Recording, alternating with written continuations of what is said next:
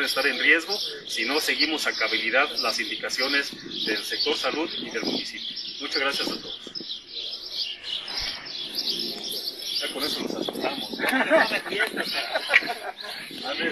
todos.